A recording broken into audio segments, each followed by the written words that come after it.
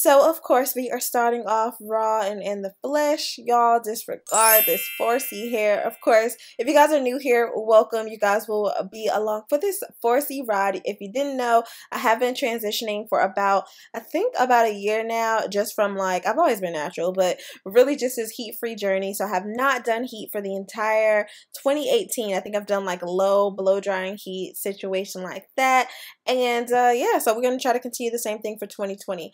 Um, nevertheless, I do have my hair just kind of parted out. We're going to be doing a ponytail and a bang, swoop bang. So you could definitely just part out a box um, of hair. I actually kind of left out a little bit too much. Right here, just in braiding my hair down, I could see the area where the new growth was and where the old heat damage was um, as well because it's kind of like a little thinner, not as thick. So that was an indication for me. I am going to be taking some of the Edge Booster uh, Edge Control. It doesn't really matter what color you use. Um, I have now, I think the pink, the teal, and the purple. They're all the same. so I'm just using this to go all over my hair. My hair is washed and towel dried, so it's not even like fully dried at all. I did consider like blow drying this out. If that's something you want to do, you definitely can.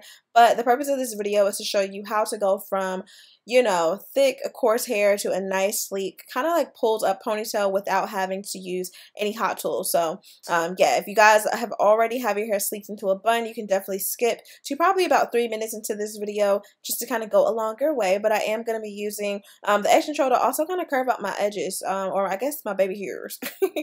um, nevertheless, I do have a, a Denman brush to kind of just detangle everything along the way. I find that this really gets to like the root of my hair and really pull everything tight.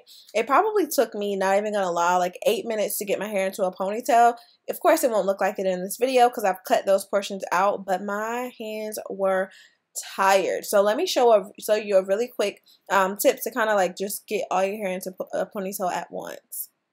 So what I did is uh, use like a really large scrunchie. Just to go ahead and hold everything up while I continue to just like apply the product because as you guys know it can be tough applying product in the midst of just like trying to hold everything at once so that can be a lot. Um, and I I think that I mixed that with the cream of nature um, this is like the argan oil is it cream of nature? No, Eco Styler gel. So the argan oil Eco Styler gel is what I use in combination. I didn't use that until I got the ponytail as sleek as possible just to kind of seal everything um, and lock it into place. So definitely make sure not to use any type of gel because it's just going to further cause the hair to slick. So go ahead and use that edge control. It is wet so it will um, dry in place and things like that. So you'll kind of be able to maneuver it a lot easier. So um, yeah, I don't know. Let me know how you feel about the edge control. I know that you guys always like recommend different ones to me. So if for this year you guys want me to try something new, definitely let me know. I just discovered this, uh, I guess, edge booster within the last maybe three months. So,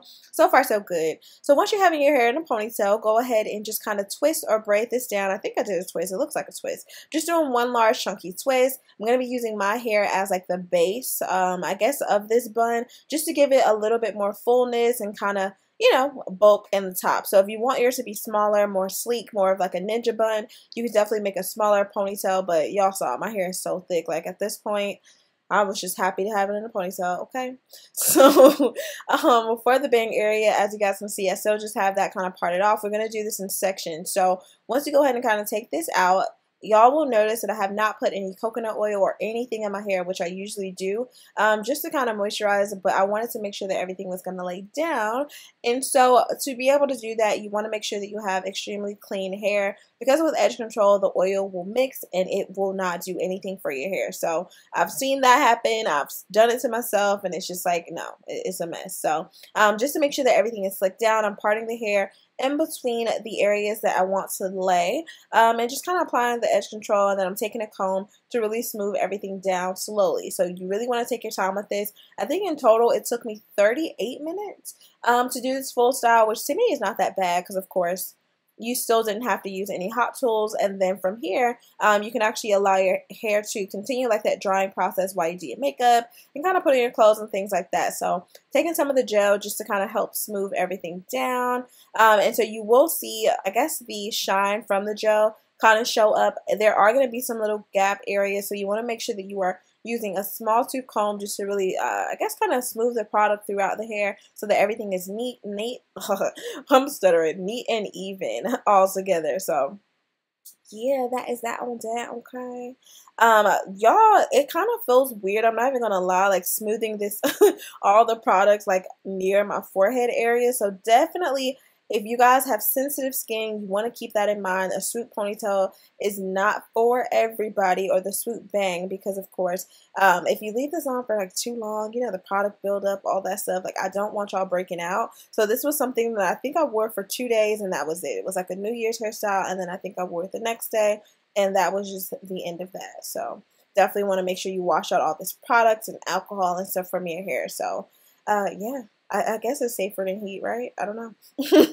but anywho, so I'm applying some of the gel towards the ends of my hair as well, just to make sure that everything is really sleek and kind of makes it easier to maneuver because without it, honestly, I don't think this style would have been possible. So this does take you a few minutes just to kind of really get everything styled into place. I did realize that I left out too much hair when I I guess I kind of noticed the back of the, or I guess the area you see I'm kind of maneuvering right now.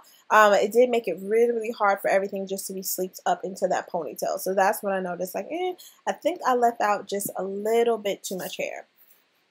But nevertheless, you guys can kind of decide what it is that you want to do with the bang from here. Um, if you want to swoop it up, you can. If you don't want to, you don't have to. But I'm going to swoop it because I want everything to look kind of like cohesive, I guess I should say.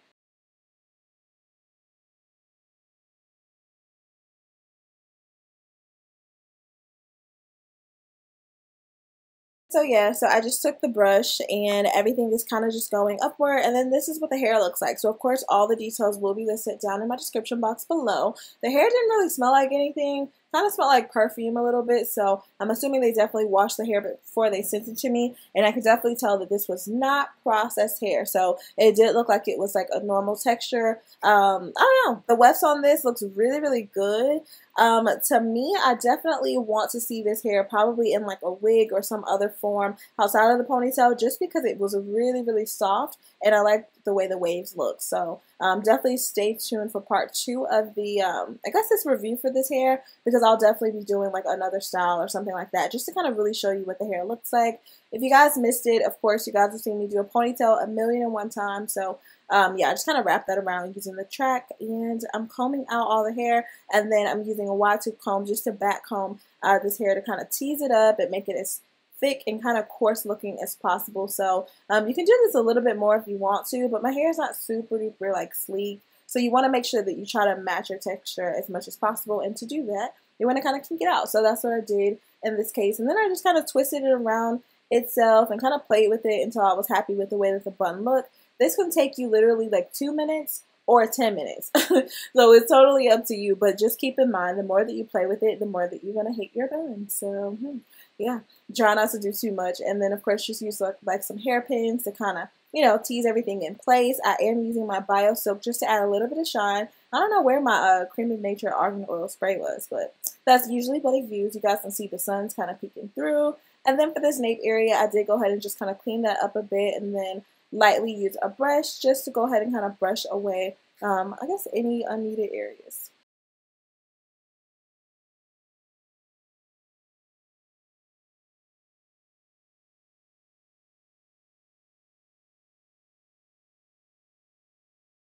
I'm just brushing up the hair, and yeah, that's pretty much that on that, guys. That was pretty easy. You can definitely go ahead and tie your hair down from here if you want, um, but I did actually end up doing my makeup. Obviously, I did not film that, but this is the final look, so I definitely hope you guys enjoyed it. You'll definitely get some slow-mos. Everything was locked in place. My hair was completely dry by then and probably not in the middle, like let's just be real, but everything else was locked into place. I didn't have any flyaways. I didn't have to worry about the nape of my neck kind of sticking out nothing. So I'll be doing an updated video to let you guys know about the nape areas and other spots of my hair. But I love you guys so much. Stay pretty and I will see you next time.